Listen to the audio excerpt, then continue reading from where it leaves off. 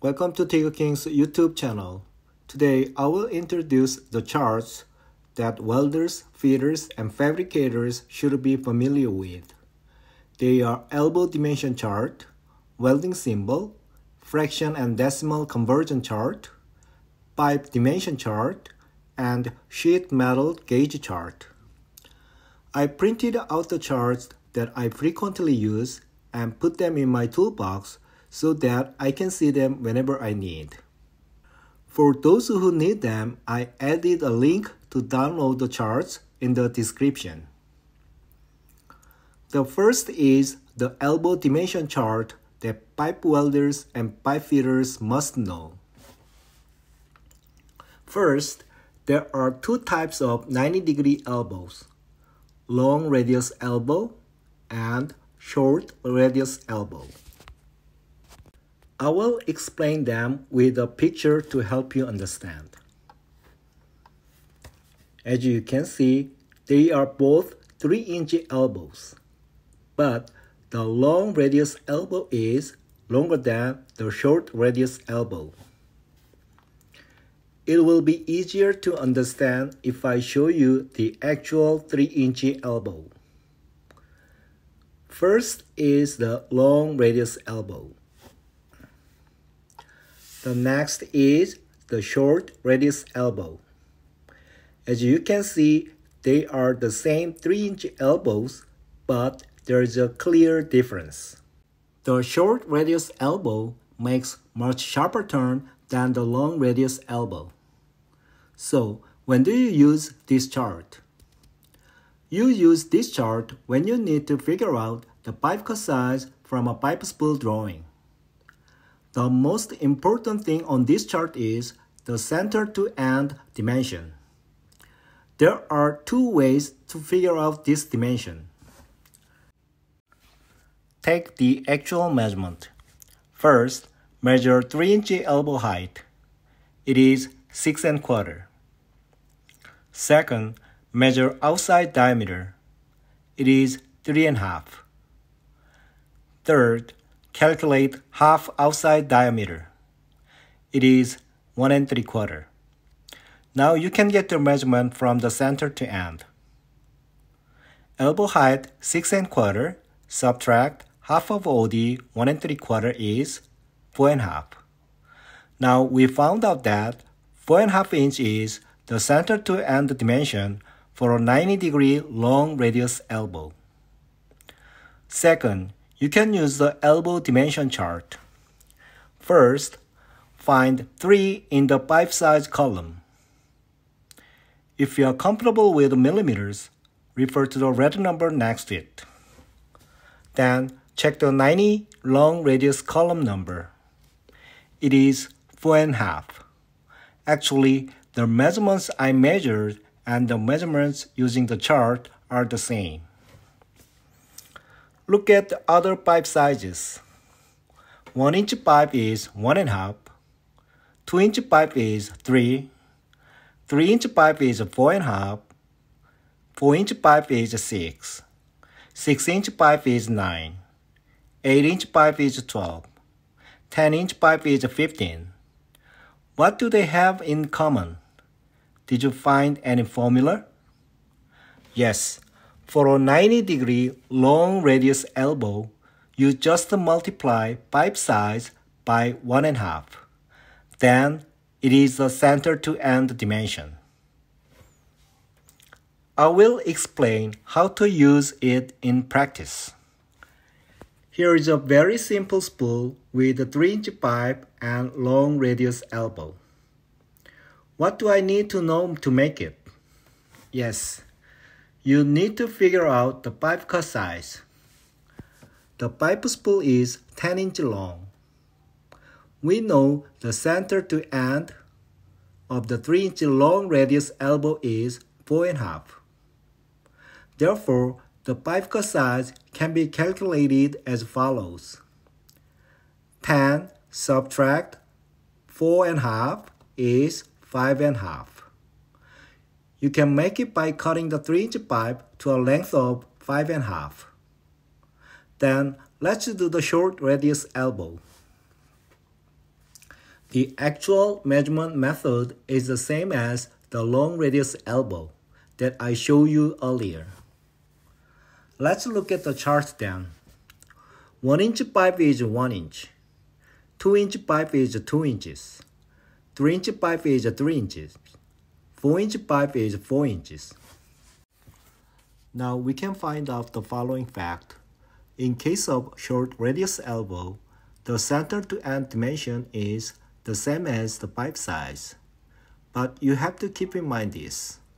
The pipe size on the chart is based on the nominal pipe size system called NPS. For example, the actual outside diameter of 3 inch pipe or fittings such as elbow or T is 3.5, not 3 inches. So when you calculate center to end, you should use the pipe size not actual OD or ID. It might be a little bit confusing. Let's make it simple. Forget the outside diameter or inside diameter to find out the center to end dimension. Look at the label on the fittings and use that number. For 45 degree elbow, I mostly use the chart because there is no formula to find like a 90 degree elbows and it is a little bit tricky to actually measure.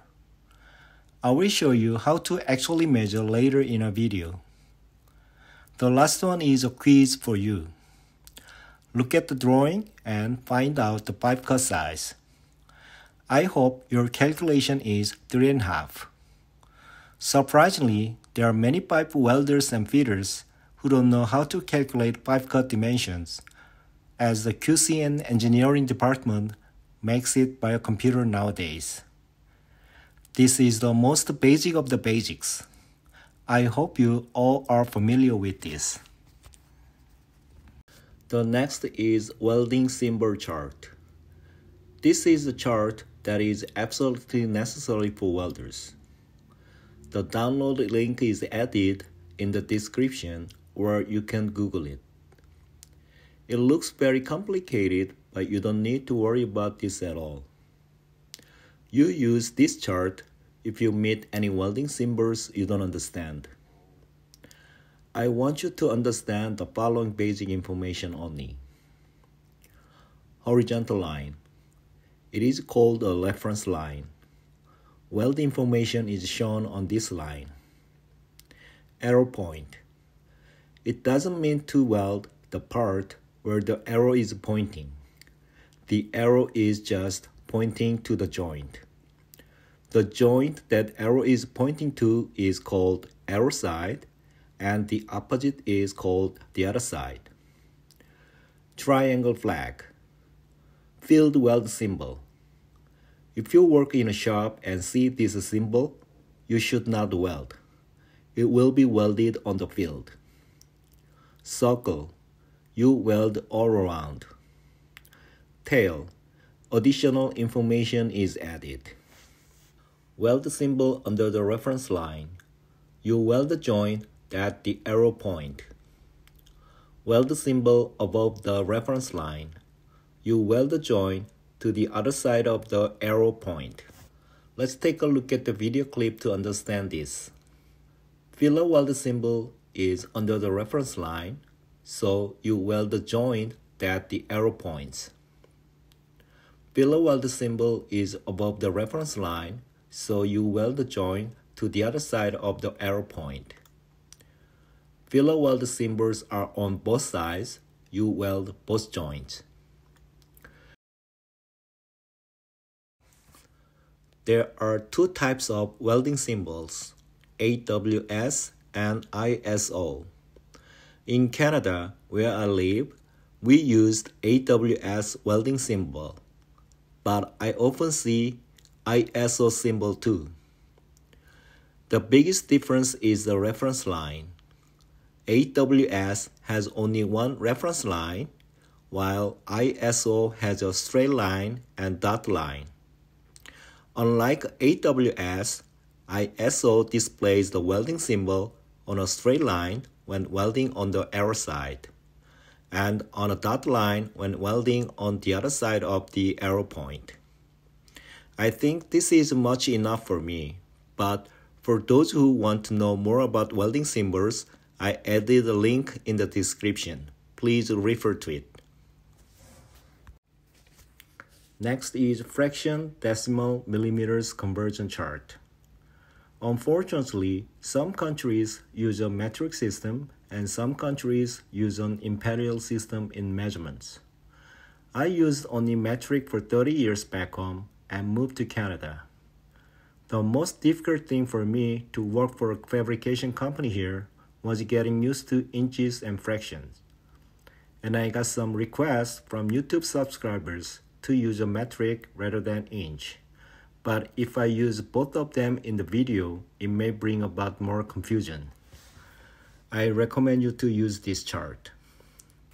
Beside the chart, I would like to introduce a fraction calculator app. It is one of my favorite apps. I think many people use this fraction calculator. If you don't have one, please try this one. Next is pipe dimension chart. If you are pipe welder or pipe fitter, this is a must-have. This chart shows pipe size, pipe OD and ID, and thickness, etc. Do you remember that I used the caliper to measure the outside diameter of 3-inch pipe? If you have a pipe dimension chart, you don't have to measure it. Just look at the chart and it says its outside diameter is 3.5. The last one is a sheet metal gauge chart. If you are a metal fabricator, it is very helpful too. Besides, there are so many charts such as drill bit tap and pipe takeoff, etc. Nowadays, it is so easy to get these charts if you Google it. For your convenience, I added links to download the above charts. Thanks for watching and see you next week.